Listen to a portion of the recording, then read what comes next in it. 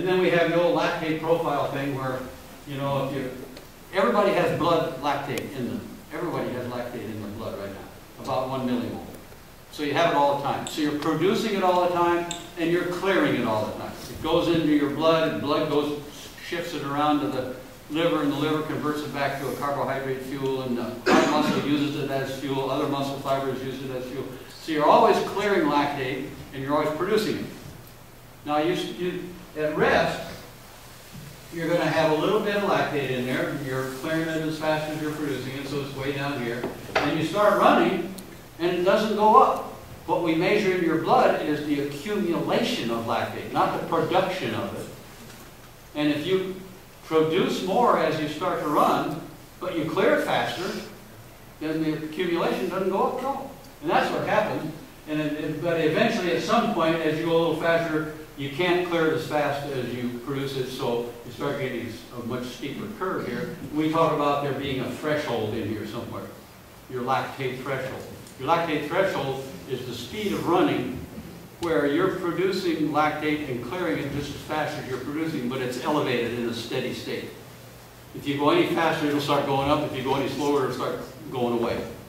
So there's, a, there's an amount that stays there. And that's a very, very good measure of endurance.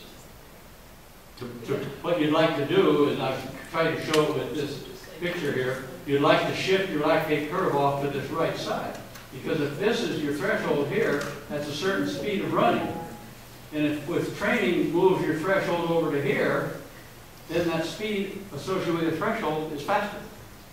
You learn what you do when you, when you do threshold running is you increase your body's ability to clear lactate. So you can deal with a higher production by clearing more. And you, to do it, you have to work at that speed. To improve any physiological function in your body, you have to stress that function. You're not going to improve your endurance by going out and sprinting all out. You run kind of hard. Anybody can race at their threshold for about an hour. That's the speed you could race at. Rested and psyched up, you could race about 50 to 60 minutes. Swimmers have what they call a T50 test. They tell their swimmers to see how far you can cover in 50 minutes, and they count that as their threshold speed.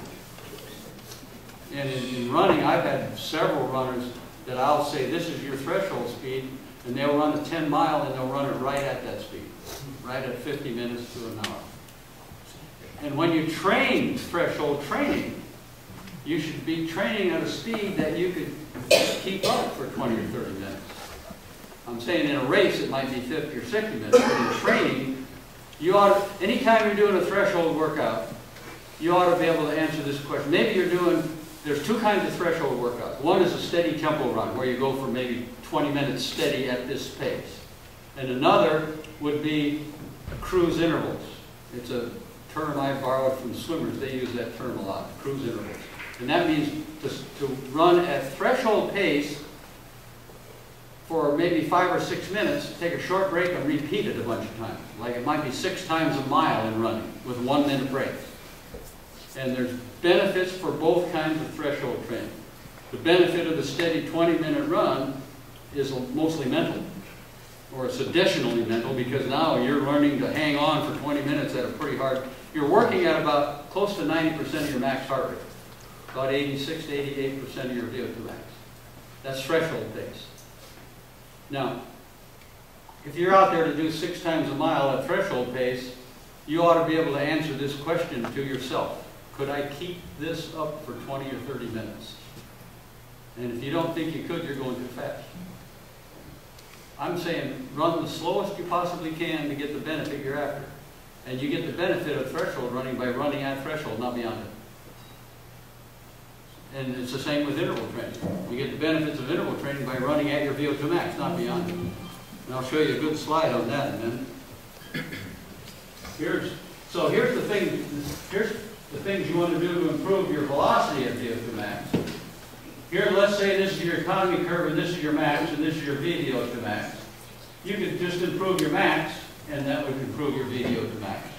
Or you can improve your economy with the same max and that would improve your VO2 max. Or you can improve your economy and your max and you'd be way over here.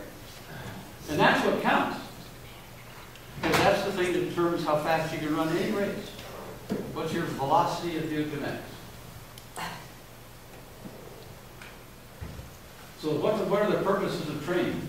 One is to increase the available energy that you have. And the way to do that is to change, make changes down in the muscle cells, more mitochondria that will deal with the oxygen that comes in there. The oxygen comes from the blood and the vessels, so you open up more vessels.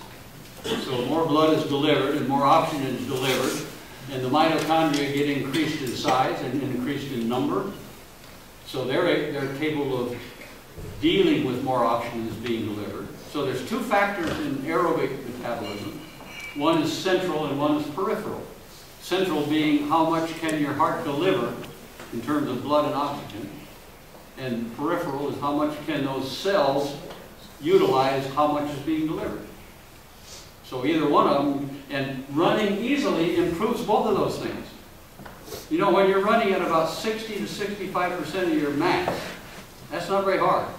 That's slower than marathon pace. When you're running at that speed, you're benefiting big time down in the cells. Those mitochondria are building in and, and everything is building. So you, there's purpose for easy running. You know, when your heart, when you start running, when your heart rate, you keep, as you run faster, your heart rate keeps going up and going up. But when you get to about 60 or 65% of your max heart rate, your stroke volume plateaus. Stroke volume being how much blood is being pumped with each beat. How powerfully is your heart beating? Your heart is beating as powerfully as it's going to beat when you're at about 60 or 65% of your max heart rate. It's not going to beat you more powerfully. It's going to beat more often, but not more powerfully. Well, you can develop that muscle by having it beat hard. You don't have to make it beat fast to develop it. You don't do that, because if I said, we're going to work on building and strengthening our heart, and you go out and run as hard as you can, you might last 10 minutes. But if you out run easy, you might last for an hour or two. And that's a whole lot better for your heart. Strengthening your heart. It's, it's a function of time, not intensity. You want to improve speed and power, that's with repetition running. Fast, uh, with lots of reps. Improve economy, that's repetition running. Improve endurance, that's threshold running. So you got different kinds of running that develop different physiological, here's what they look like.